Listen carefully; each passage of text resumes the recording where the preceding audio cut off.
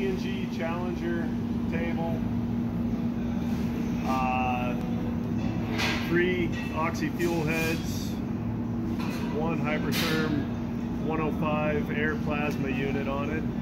Uh, just got a, in April of 18, put a Hypertherm Edge Pro TI controller on it.